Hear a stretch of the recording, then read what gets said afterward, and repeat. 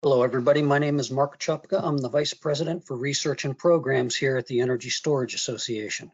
Thank you for attending today's webinar um, titled Energy Storage, the Essential Ingredient in 24-7 Carbon-Free Retail Power.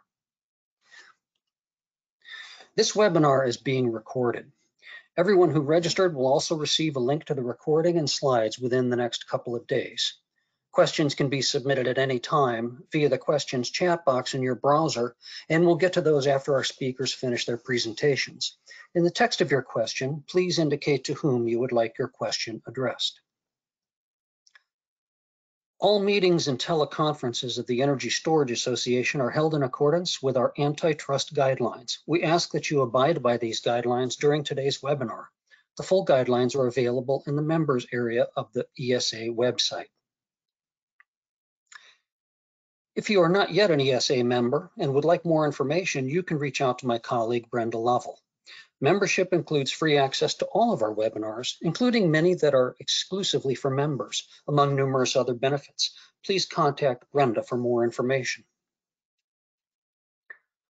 Among our benefits is a wide array of informative products. ESA now offers our members a way to choose what communications you want to receive from ESA. You can select among policy, events, and member news to customize your member experience. Before we begin, I'd like to tell you about upcoming events. Now, the first upcoming event is coming up right after this webinar. We'll keep the conversation going about 24-7 carbon-free electricity with Jonathan Bird of Duke Energy. Uh, let me introduce the speakers. Uh, first up will be Priya Barua, Director of Zero Carbon Innovation at the Renewable Energy Buyers Alliance, REBA.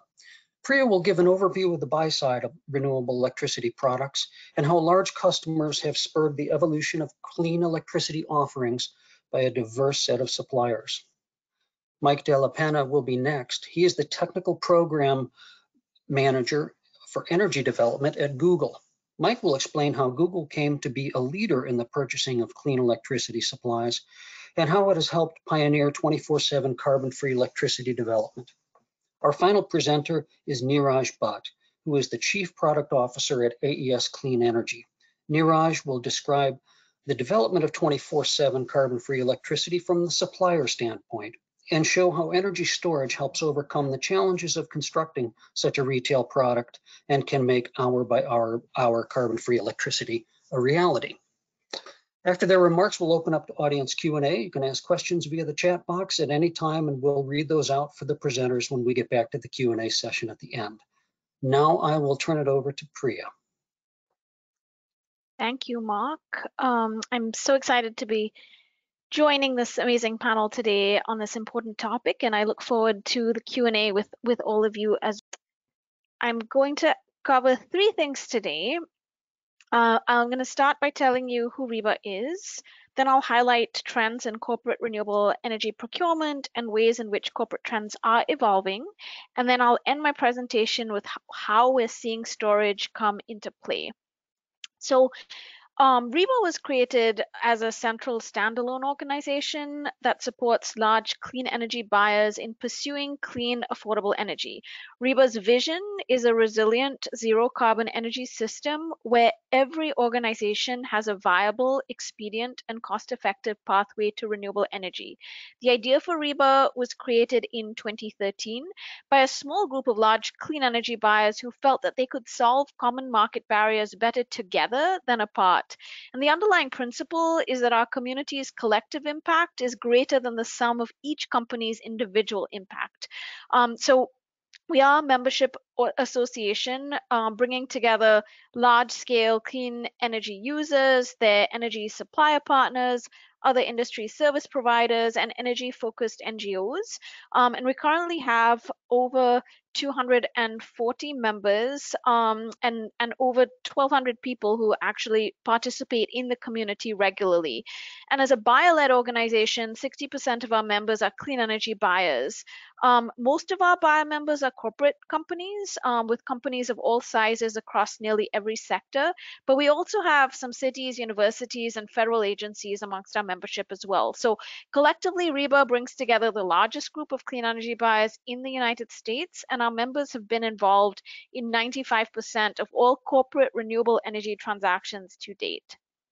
Um, according to the Energy Information Agency, commercial and industrial energy users are the number one cause of energy related greenhouse gas emissions in the US, emitting 2.2 uh, two and a quarter billion tons of greenhouse gases from their energy use um, alone in, in, in 2018.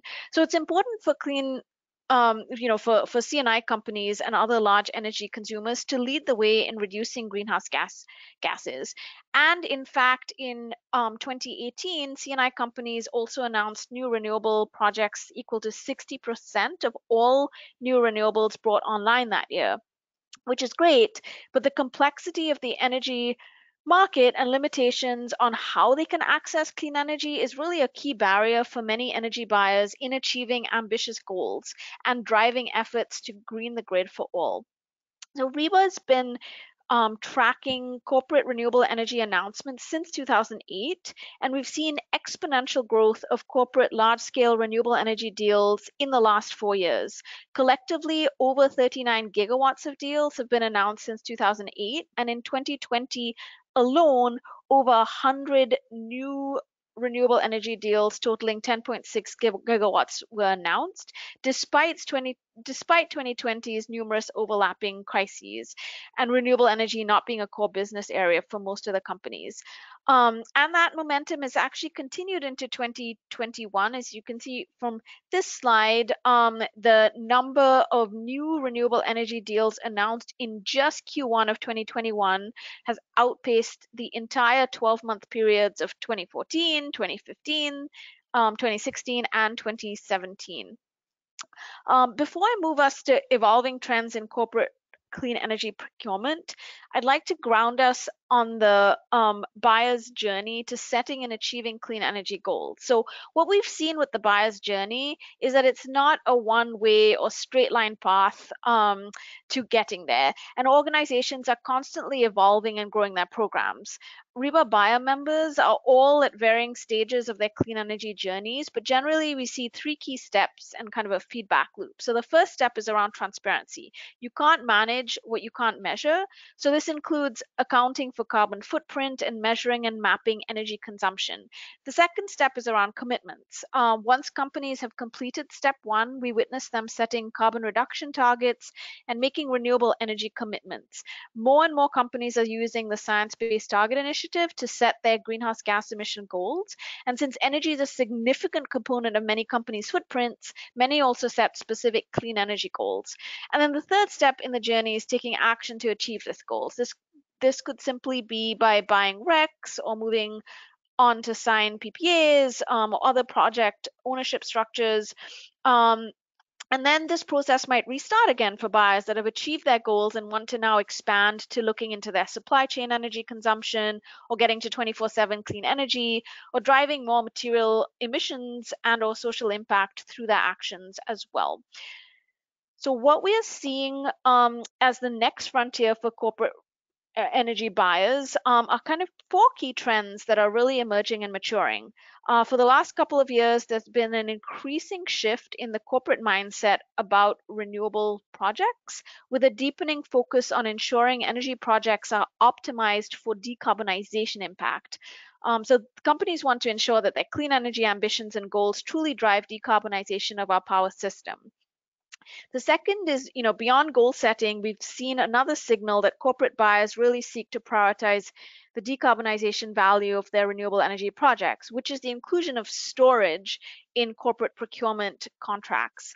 Um, solar PV continues to be the dominant renewable energy technology, and we're witnessing an increase in the number of solar plus storage deals.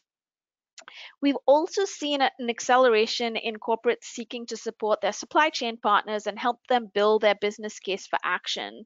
Um, in 2019, CDP data showed that scope 3 emissions were five and a half times that of scopes 1 and 2 combined, but that's grown. Updated CDP data from 2020 shows that the size comparison has actually increased to over 11 times. And we predict that as we get more data, the true size of scope 3 will become clearer and the comparable size will be shown to be larger. And more and more companies will continue to work with a growing array of their Scope 3 partners to really address Scope 3 emissions. Um, and then finally, um, social impact dimensions, even in the pursuit of renewable energy, is something we're seeing corporates increasingly place more value on. In 2020, we saw a significant acceleration of this focus um, with a particular emphasis on how renewable projects affect people, um, from concerns about labor conditions in renewable supply chains to energy equity and, and justice issues where projects are built. So I'm going to dive a little more into the first two trends, um, since those are the, the most relevant to the storage industry. Um, so energy customers are really doubling down to ensure their clean energy ambitions truly drive decarbonization of our power system. Uh, back in 2019, we highlighted an emerging trend of customers starting to shift focus from purely deploying additional renewable energy towards the end game of a decarbonized grid. And of course, increasing renewable energy deployment is a key component of achieving a decarbonized power system. But at the same time, more and more end users see renewables as a means to an end and not an end in itself. So 2020 really showed a significant acceleration of this trend. Um, the first area where buyers demonstrated carbon focus was really in their goal setting, with companies announcing new carbon neutral, carbon negative, 24/7 um, carbon-free energy goals. Um, and we saw an impressive growth in 100% renewable energy commitments through initiatives like RE100. Um, um, but you know, and it was the 30, I think it was a 31% growth to over 300 companies. But if you think that's impressive, companies setting science-based greenhouse gas reduction targets um, through the science-based target initiatives grew over 165% with over a thousand companies now in that program. So beyond goal setting, um, in 2020, we saw companies beginning to change the way they procure renewables to ensure decarbonization impact. While this changed procurement played out in many ways, the inclusion of storage in corporate procurement contracts was one that really jumped out. Um, since 2010, we've seen an 88% reduction in the cost of some storage technologies. And now, a decade later, in 2020, five co corporate companies announced transactions that included storage totaling nearly half a gigawatt, and we've already seen as much storage capacity added in 2020 so far as um, so so we expect 2021 um, to exceed the 2020 totals.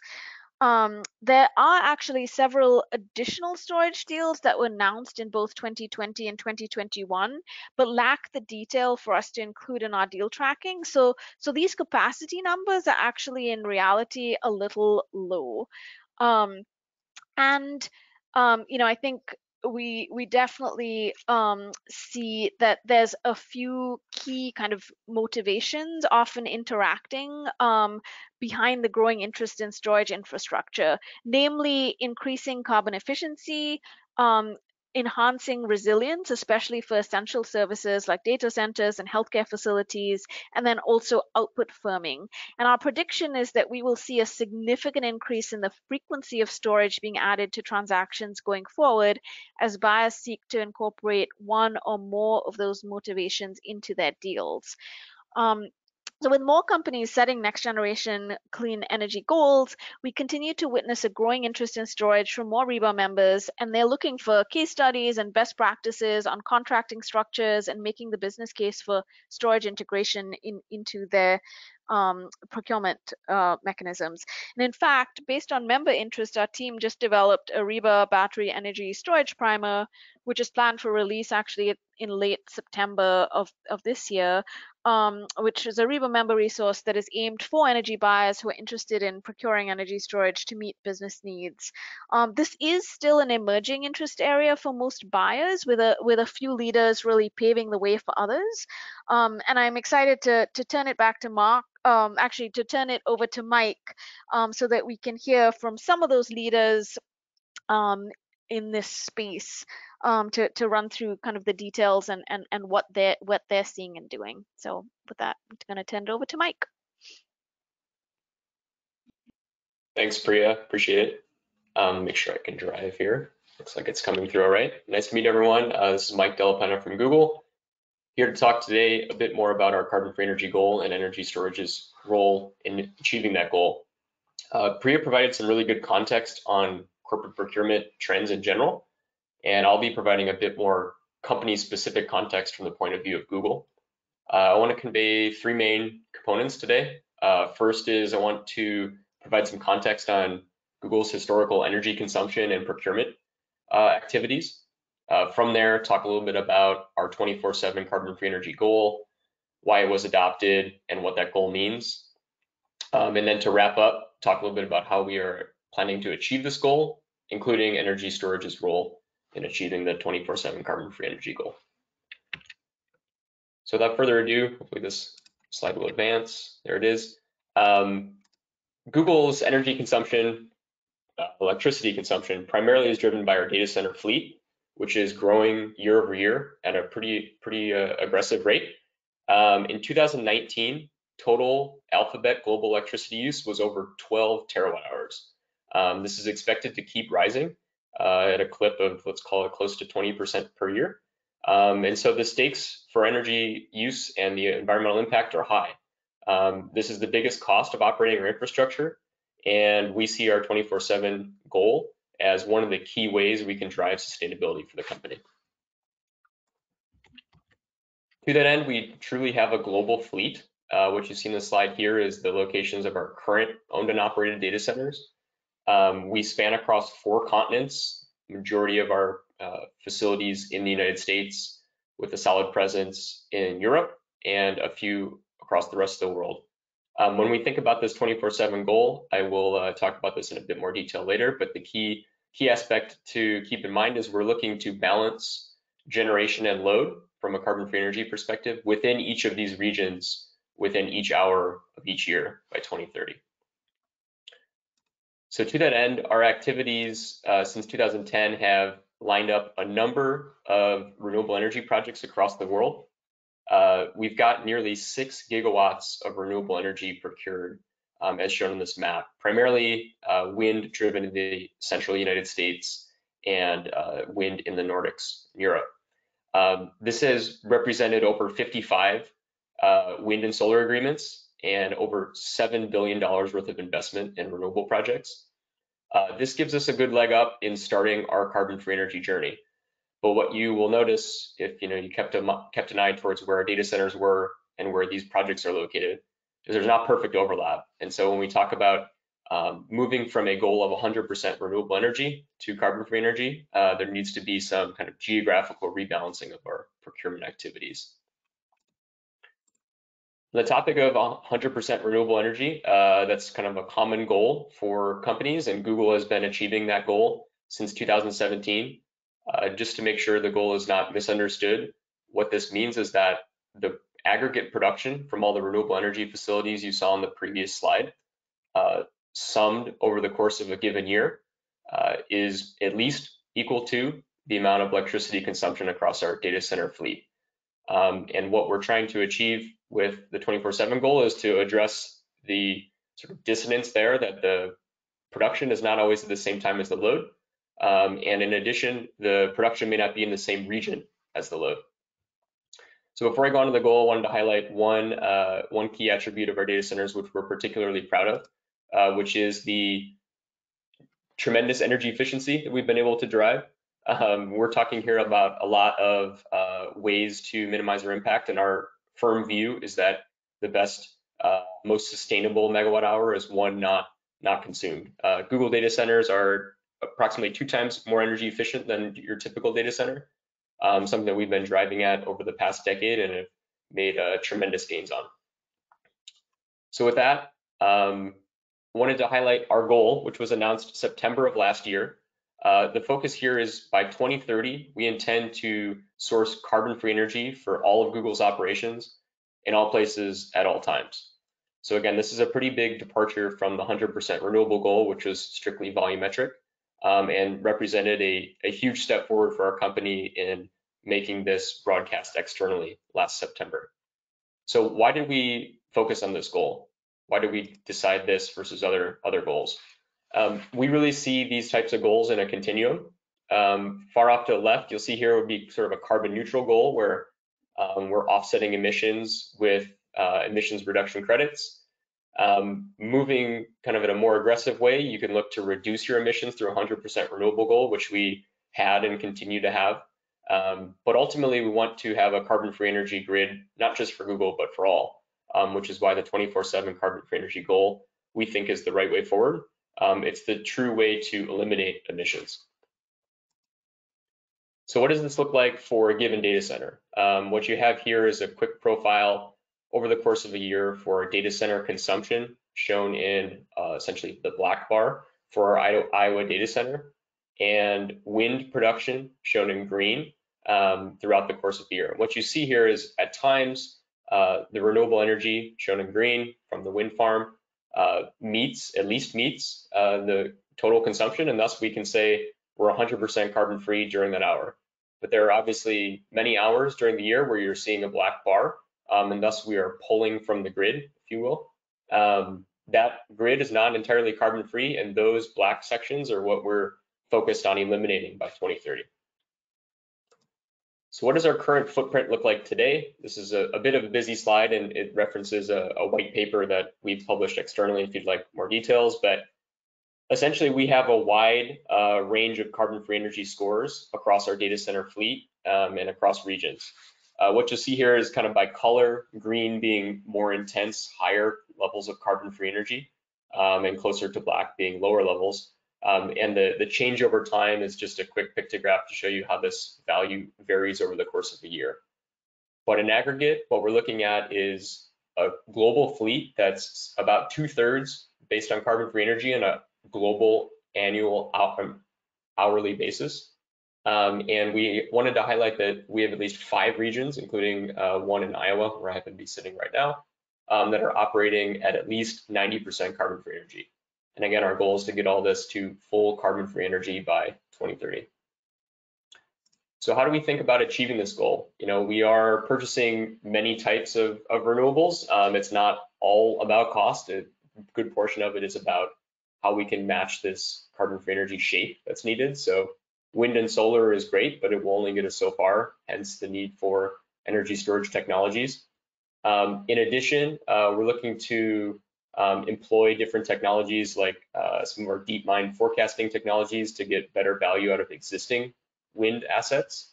Um, we're exploring a, a, a, variety of next generation technologies, including enhanced geothermal, long duration energy storage uh, technologies that we know will be needed by the end of the decade to meet our goal. And across our regions, we're advocating for a variety of policies uh, to remove barriers to to corporate uh, procurement in the way that you know we think is needed to reach 24/7 carbon-free energy, and also advocating for market reforms that that open up markets for more competition. So why do we pick 2030? Um, it's a very aggressive goal. There's no doubt about it, but we see historic cost declines um, both in the future, but obviously uh, achieved in the past 10 years, as Priya mentioned, for, for battery energy storage. Um, in addition, we see governments making huge commitments uh, to cleaning up the grid, uh, both in the near term and throughout 2030. Um, and frankly, we're seeing a lot of progress in, in commercializing these technologies um, in such a way that we think this is achievable. So uh, I'll highlight a few quick details about this slide, but then this really sets it up for Neeraj and AES to talk in a bit more detail. But for those that followed in May of this year, uh, Google and AES announced a first of its kind retail supply agreement that will guarantee uh, our data centers in Virginia will operate on 90% carbon-free energy by 2024. Um, what excites us about this uh, this deal with AES is it's truly an example of that blending of different renewable energy technologies um, in addition to energy storage uh, that delivers to us sort of a firm uh, carbon-free energy product for consumption across our data center fleet in a given region. So what you see on the right-hand side in the chart, which Neeraj can describe in a lot more detail than I can, is uh, production of the various components of the carbon-free energy portfolio um, that is proposed by AES. So we have some components from hydro, some from solar, and some from wind. And then I'll spend a bit of time dwelling on the purple bar, which is storage discharge. Um, essentially, the way we think about energy storage within our carbon-free energy portfolio is it is charging from what we would call excess carbon-free energy or the light blue bars above the black bar. So essentially when our contracted renewables are producing more than we can consume in a given region, As long as the energy storage is charging at that time, we would call that to be carbon-free energy charged. And thus, when it discharges, we credit the output with uh, the same carbon-free energy credit. Um, important to note, we do not require the energy storage to be strictly co-located with those resources. Um, you can read a bit more about this in our methodology papers released publicly, but the way we view energy storage and all these uh, assets at large is they need to be connected to the same regional grid. Uh, regional grid in the United States here being uh, the balancing authority, and in this particular case, uh, PJM. So as long as the battery is connected to the same regional grid, in this case PJM, and it's charging and can be proven to be charged at the same time there's excess carbon-free energy, uh, then we're content counting the subsequent discharge as part of our carbon-free free portfolio. Um, last comment here, and then I'll kick it over to Neeraj for, again, a lot more detail on this particular transaction, is you'll note that the, the gray bars are what remain, right? The, the purple bar only gets us so far, um, and that's mostly driven by the, the durations available at cost-effective price points for lithium ion energy storage right now. Um, what we're excited about and what we're actively exploring is new long duration energy storage technologies that might be able to address what remains in the in the in the gray bars. So in short, Google envisions a future in which not only Google, but energy consumers everywhere have access to affordable 24-7 carbon-free energy. And with that, I'll hand it off to Neeraj. Super. Th th thank you, Mike. Um, thanks, Marc and Priya as well for your preceding comments. I'm really excited to be here. My name is Neeraj Bhat. I'm the Chief Product Officer for AES Clean Energy.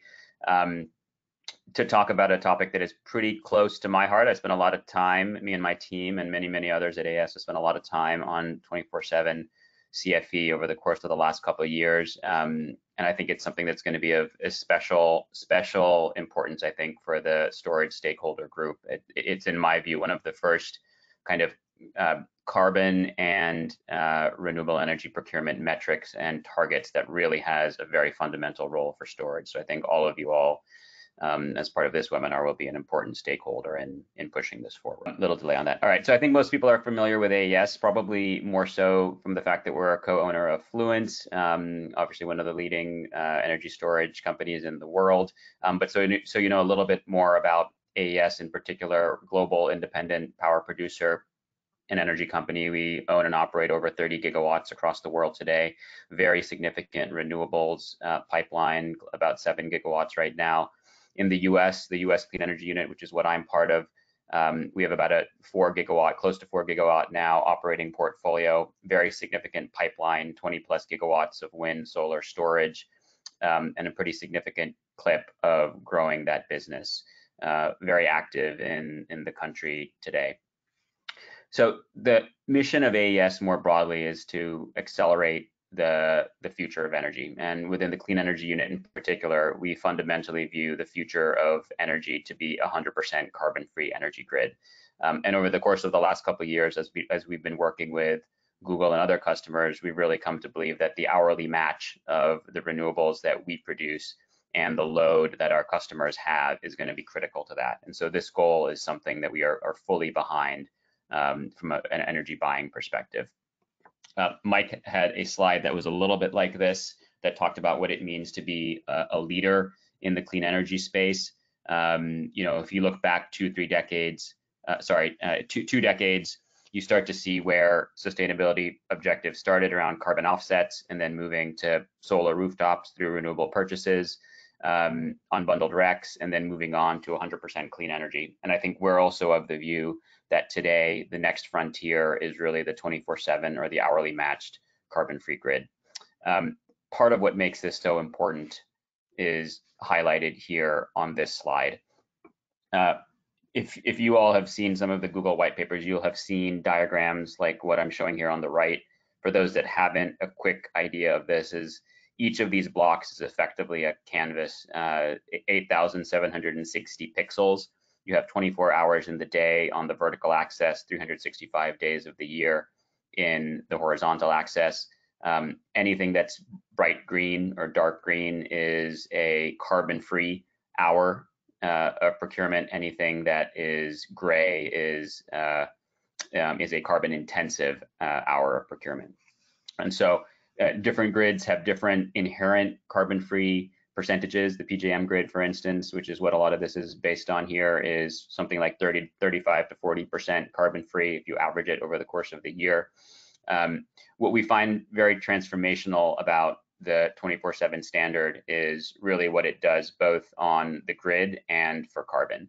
Um, so if you take a look at just using one technology alone, you take solar, for instance, and you you know you paint a nice swath of green throughout the middle of that canvas. It's the daylit hours, um, and you get to you can get uh, to about 65% carbon-free energy on that basis alone um, and a pretty good chunk of, so of carbon that's offset from that. We're showing 2.2 million tons over the course of a decade here. Um, wind, uh, higher capacity factor, a little bit more Jackson Pollock in its view uh, of what it covers of the canvas. Um, you get uh, a higher CFE percentage and uh, a higher carbon offset uh, uh, percentage as well what's really transformational when we think about the 24/7 piece is what you can really cover. You can really cover a much more significant uh, percentage of that canvas when you do a combined portfolio. Uh, the wind, the solar, and the storage working together here in this example to get north of 90%. Um, but what's also very interesting about it is that uh, the the carbon, the tons of carbon that are offset or reduced are not uh, are not linear, right? You really start to dig deeper into those very carbon intensive hours, and so you get much more carbon um, carbon reduction when you're really painting the full canvas rather than kind of cherry picking. For instance, the solar hours, which uh, in most grids of the country are becoming less and less carbon intensive. So the ability to move megawatt hours, as uh, as the other panelists have talked about, is really fairly critical to this. Um, and, and that's fundamentally where storage is, um, is the leading contender. Uh, as Mike referenced, um, we worked on this solution with them and, and, announced a deal in May of this year, uh, first of its kind 24-7 carbon-free energy solution um, targeting uh, Google's Northern Virginia data centers. And to give you all a little bit of a flavor of how that worked and, and, and what the objectives were, when we started on this process uh, with Google, you know, probably close to two years ago now, um, they had two key goals. One was, of course, to advance their 24/7 carbon-free objectives. They announced them in September of last year, as Mike mentioned, but of course had been thinking about them for quite uh, a while before that. So to really push effort and uh, and and advance those objectives was was critical for them. But then it was also uh, that there, there, that, that there's a market and an economic element as well to really reduce complexity and reduce market risk was critical. Um, uh, all companies can be leaders, but they're not cost insensitive, as I'm sure Mike and his colleagues will tell you as well. So having an ability to kind of get this uh, objective at the right price with a reduction in market risk um, was critical to them. So what we ended up putting together was a structure that looks like what you see on the page here um, we went out to the market on behalf of Google and solicited bids from developers across PJM. Um, and you know, this was probably the most interesting part of this process, right? You can, you can model 24/7 uh, CFE in Excel and other places, and then when you go to the market and talk to real developers with real projects with real challenges, you know, all those nice little assumptions start to really get tested. So um, this was a this was a um, kind of a, an interesting and challenging part of the portfolio, and and we ended up modeling you know north of 200 different portfolios based on you know real bids and real uh, um, proposals from different developers, different ways in which you could combine what ended up being about 10 different assets uh, to to shape and produce um, a, a load-shaped 90% carbon-free energy supply to Google. Uh, in addition to that, we Google is also focused on pricing and also focused on the, the, reduction in the market risk. And so we used our kind of trading and commercial capabilities to put in place market hedges and, and do a lot of the transactions that shaped all of that, you know, intermittent um, uh, and and captured kind of the longs and shorts of the supply portfolio to provide the the shaped product that Google really needed. So this was the kind of the essence of of the deal, and and and a lot of the work that went into this was understanding what's the portfolio that um, that meets this high 90% uh, carbon-free target, um, but that also does so in a cost uh, cost acceptable manner. And as as uh, as I'm sure you understand, uh, the storage is is going to end up being a critical part of that. And and Mike showed a version of this in his slides that talks through kind of the day to day. I think he did a pretty good job walking through the kind of the individual hours and what was there. This is more of a stylized example uh, with the the CFE uh, output per hour to the customer with just solar, wind, and storage. Um, as you mentioned, the, the, the portfolio that we ended up putting together for Google did include some hydro as well, which is great. Uh, has a different. Anytime you can get a generation source with a different uh, with a different generation profile, it really adds to the to the CFE output here. So yeah, Mike already highlighted kind of the the. Uh, I won't go into the detail. Mike already highlighted a lot about how the solar, uh, the storage in particular, tends to work. Really uh, charging during the the largely the daylit uh, over generation hours when we're long on renewable energy and dispatching it back into the system in those hours when the portfolio was short. Uh, this chart right here shows an average day, so it really smoothens out a lot of the the daily volatility that you'll get. Um, you know that takes into account high wind days, low wind days, high solar days, low solar days, hydrological differences for the hydro plants. Um, at the end of the day, what makes storage so valuable here is its surgical nature. Um, you know, I talked in one of the previous slides about how uh, putting more wind can get you some of those evening and nighttime hours. But um, I think I called it the Jackson Pollock approach, right? You're really throwing a lot of megawatt hours of paint at that canvas, um, and a lot goes to waste because you're not hitting exactly where you need to. You're not hitting the pixels that you really need. And the beauty of energy storage in this picture is that it becomes extremely surgical. You're taking exactly the hours that you need, um, pulling them out when you don't need them, and putting them in exactly when you need them. And, and, and that's why we think uh, the linchpin of um, of a of a grid that is going to be 100% carbon free is going to be uh, storage to give you another kind of uh, a, a, conforming viewpoint on that, this is a, a, slide and a graphic from a report that RMI came out with in the last couple months called Clean Power by the Hour. Uh, they show a similar message here on how crit how critical storage ends up being for really getting to that higher uh, level of CFE. Um, I'll, I'll note here that the x-axis that shows percentage match is a different metric than the 24/7 CFE um, calculation methodology that um, I have in the rest of the presentation that Mike had. So, you know, put that aside for the moment, but the trend really of what you're seeing here as uh, as you layer on different generation technologies and storage technologies is correct. So what you'll see is as you're in the lower um, lower match percentages or lower CFE percentages, you know you you can you can get a long way by throwing wind and solar into the mix. And those are the lowest cost options to increase your cfe if you're starting at a very low base. But there'll come a point when uh, the the least cost approach to getting to those remaining hours and achieving higher percentage match hours or cfe percentage hours is going to be storage. And, and that's what this slide shows um, that as you as you ratchet up in this case beyond 45 or 50 50 percent storage really becomes critical because you're not you're not throwing um, intermittent wind megawatt hours for instance or uh, less predictable wind megawatt hours um, or, or, excessive solar megawatt hours at the at the mix you're you're being as I as I mentioned before quite surgical in your approach.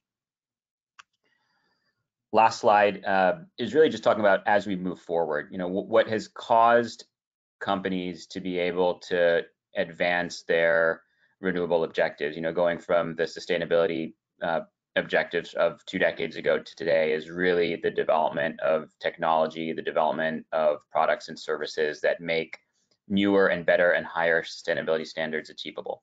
Um, and, and, and that's where we are today with 24/7. So there's a number of uh, efforts underway, certainly within our company, but in many, many other companies as well, to push the tools for 24/7.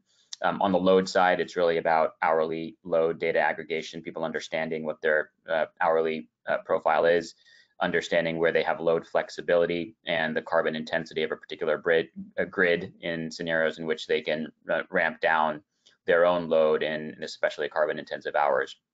On the supply side, um, a lot of areas uh, that storage touches very heavily. Uh, I've already talked about the nature of multi-technology shaped clean energy. um, thinking about the dispatch algorithms that one needs to have uh, when they're maximizing not for the price of energy, but for the carbon-free content of um, of the grid and the the supply that is being delivered to a customer. Um, happily, there's a lot of correlation between those two. It's not perfect, but uh, but but it tends to serve in both directions if you're if you're dispatching the um, the storage facility appropriately. And then the last piece is on hourly renewable energy credits. Um, for those that are uh, familiar, renewable energy credits today are, you know, effectively a monthly tool. There is not hourly granularity on when a particular re renewable megawatt hour was generated. Um, there are efforts underway to change that uh, and to tag those RECs. Uh, that's a, a, kind of a, a, nascent area that's starting to um, that's starting to increase and get more attention. And and the real benefit to that, I think, from a storage perspective, is it starts to bring storage into the mix. Now, if you have a data tag that has an hour on it, um, a, REC produced at noon is not the same value as a REC produced at uh, at 8 p.m. for instance. And so if a if a if a noon REC is worth five or six dollars, um, you know maybe maybe the REC for a company that's trying to be 24/7 uh, at 8 p.m. is worth 12 or 15. And so all of a sudden you're starting to create price signals and incentives uh, for more storage to be deployed into the system. So um, I think I'll leave it at that, moving on to Q&A, but I think overall messaging for you all, I think uh, this sustainability goal of, uh, of, of, hourly matching in 24-7 um, very material. I think it's here to stay. I think you'll see more and more companies adopt it. And you know the great news for the storage uh, sector is that the storage is just an in instrumental and critical part of, of making that future possible. Thanks for your time.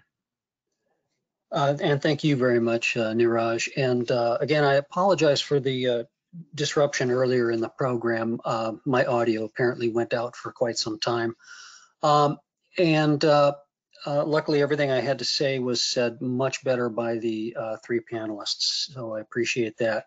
Uh, we have some questions, and of course, um, uh, you can continue to uh, submit questions in the chat box, and um, uh, during the the end of the pro through the at the end of the program. let's get to a few right now.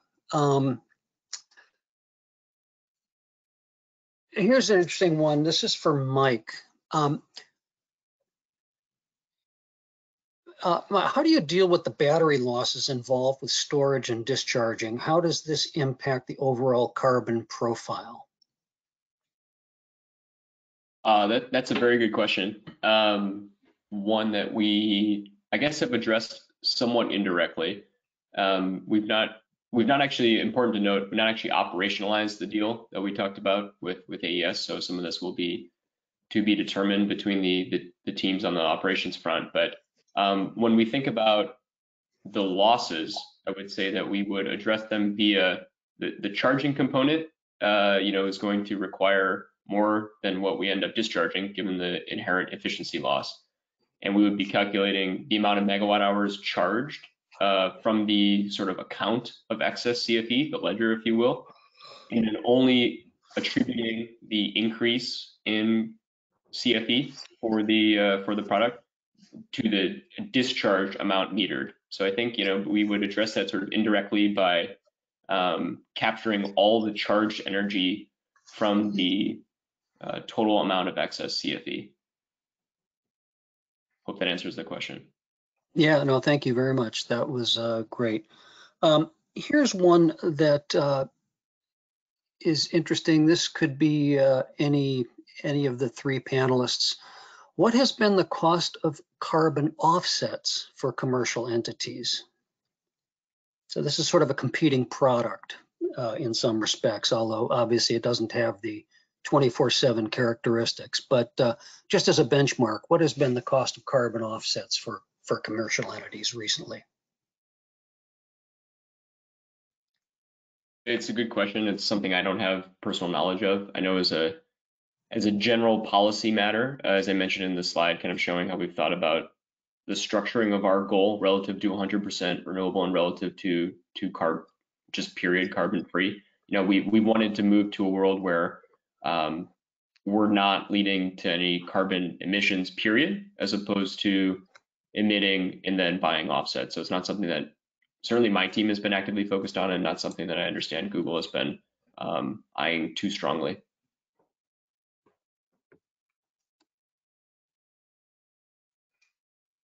Okay, thank you. Uh, let's see, I'm, uh, I'm getting quite a few questions here now. Um, let me sift through a little bit. Um, kind of durations? This uh, could be for uh, for Mike or Neeraj. Neeraj, um, what kind of durations of energy storage do Google and AES think will be required to meet the 24/7 goals? Yeah, good question. So I, I think in in in the, the the transaction that we did today, we're looking at four hour durations, um, kind of the, a bit of the market standard uh, that we're seeing right now. Um, certainly, you can think about for certain applications going longer durations on this. Uh, it really depends on a little bit of the nature of the grid that you're in and, and where you end up being short and the portfolio that you put together. But as we looked at it right now, um, four seemed to be about the sweet spot for, uh, you know, relative to the load we were trying to serve and the, the generation profiles of the assets that we had in the mix. All right, thank you. Um, here's a question. Oh, geez, I just lost it here.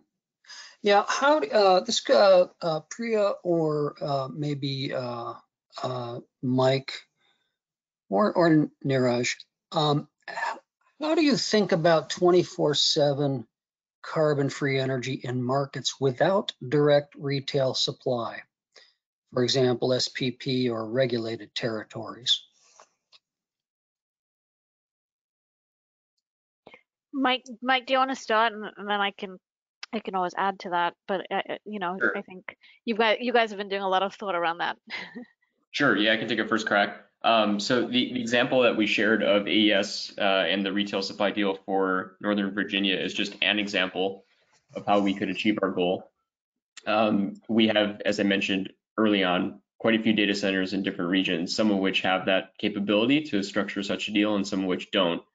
We're equally comfortable, although it's you know a bit more work on our side, um, assembling the CFE portfolio ourselves. And this SPP, whoever asked the question, you know, rightly called out, and uh, building up sort of a book of resources and, and PPAs. That's that's precisely what we've done in, in SPP to date. Um, what we like about the retail supply structure um, when it's available is number one, you know, it sort of bundles all of that. And as Neeraj mentioned, there's kind of risk management piece that, you know, is offloaded from us to the supplier. Um, and then secondarily, you know, we're able to um, sort of outsource some of that local development knowledge for finding the right resources, right? Our, our team is relatively lean internally. And as we, as I flagged in the slide, we have a lot of different regions to, to keep tabs on. And it's, unless we wanted to scale our headcount really aggressively, it would be hard for us to be experts in all those regions. So we like the, the kind of bundled, um, we'll call it like an energy manager type approach that was offered by AES in, in Northern Virginia. Hope that answers the question. Priya, if you want to add anything else, feel free. You know, I think, I think, I think you covered. You know, again, I think you covered that really well. Um, with with a specific example. Um, but but yeah, I mean, I think I I think that you know other companies are thinking about it in a in a similar way. Um, you know, in in order to kind of get to 24/7 um carbon free energy and and again i think depending on which region you're in and what's kind of available the ability to kind of access the the type of of clean energy um uh, but you know both kind of um uh, uh, you know renewable energy contracts and and kind of what's feasible like you know that i think the the portfolio of, of what gets put together might be slightly different and there'll be different limitations based on which whatever market you're operating in um which you know um so so i think um so yeah so so that's all that I- i'll add to that Maybe Marc, one last comment before we move on to the next question. Um, a, a category of region that we I didn't touch on in my response would be a region where there really isn't a corporate PPA uh, world to speak of, and you know retail supply is not an option. It's just sort of more vertically integrated utility market, which we have data centers in. And in those cases, you know, we're certainly working with our utility partners to advance kind of early stage conversations about what a 24/7 based tariff could look like. Or for the example, um, in TVA, which is all public, you know, they have a corporate renewables procurement program, which is quite robust, and uh, working with them to solicit for new resources that can help us build up our carbon-free energy profile across the region. That's it for me. Appreciate that. Thanks for the, uh, thanks for the addition on that. Um, got a couple of time for a couple more questions. Uh, this came in a little earlier in the program, but I think it could apply to any or all of the panelists. Um, more details on the contribution of storage in 24/7 CFE would be helpful. For example, where are the batteries located? On the grid and under contract to the consumer or behind the meter of the consuming facility? So, I in- think- so in- I, I can start with that. So, so in our case, um, they're grid connected. Um, as Mike mentioned, I think uh, in his remarks, um, they really can be they're open to how whether the whether the storage facility is actually tied to a particular generation generation asset or just generally connected within the same grid where the where the electrons and megawatt hours are moving in and out. Um, tying to the facility is another question, meaning the data center facility in this case. Um, Mike can certainly speak more to that, but I, I suspect that the um, the answer could be any of the above, but they'll have slightly different, you know, use cases and economic profiles depending on where they're connected in. Yeah, I think Neeraj hit all the high points. You know, um, we we've certainly received proposals for and explored um, both batteries co-located with carbon-free energy generation resources, uh, energy storage resources proposed behind the meter at our data center facilities. You know, a topic that often comes up is how can we uh, potentially capture some value from replacing our diesel generators, which is something we're actively um, involved with, but primarily our carbon free energy goal is a you know front of the meter supply based goal um, we haven't been really anchoring our, our approach in behind the meter solutions on the generation or the storage front Yeah, and I'll, I'll just just add to that that again, in terms of kind of the trends that that we've been seeing kind of in the market across uh, across the deals, most of the projects have been front of the meter. Okay, appreciate that. You know, I think we've arrived at the end of the hour, uh, and I'd like to thank the presenters for a very informative session.